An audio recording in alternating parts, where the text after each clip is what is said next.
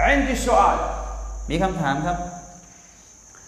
وجدنا إنسان يقول بكل ما جاء به النبي صلى الله عليه وسلم يقول بلسانه لكن لا يعتقد بقلبه มีคำถามว่าถ้าหากว่าเราเจอ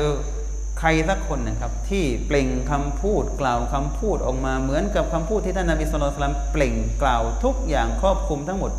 แต่เขาไม่มีการยึดมั่นกับสิ่งที่เขาพูดนี่ไม่มีการยึดมั่นในใจของเขามาฮาดะมุสลิมกาเฟรเราจะเรียกเราจะเรียกคนคนนี้ว่าไง ว่าเป็นมุสลิมหรือเป็นกาเฟรหรือจะเรียกว่าอะไรมาเนี่ยใครจะตอบครับ ใครรู้คำตอบ ยกมือครับ ยกมืออบูไอยืนเลยทำปากมุมไม่ยืนยืนฮ่าตอบเลยครับจะเรียกว่ามุสลิมหรือกาเฟรคนที่พูด อ่านคุรอานกล่าวอีหมานกล่าวทุกอย่างที่เป็นคำสอนของท่านนาบี แต่ไม่ยึดมั่นในหัวใจนี่ เราจะเรียกว่า ها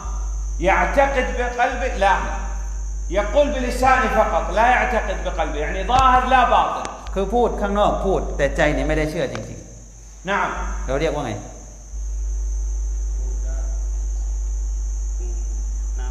มุนาฟิก منافق نفاق اكبر اعتقادي في الدرك الاسفل من النار เป็นมุนาฟิก منافق نفاق اكبر اعتقادي في الدرك الاسفل من النار نسال العافيه والسلامه อามิน تمام ما شاء الله ฟดลมาชาอัลลอฮ์อันนี้เป็นลักษณะการกระทำของคนที่เราเรียกว่าเป็นมุนาฟิกที่เป็นนิฟากระดับใหญ่ ระดับหนัก คนที่มีลักษณะนี้ครับ จะอยู่ในนรกขั้นที่ต่ำต้อยที่สุด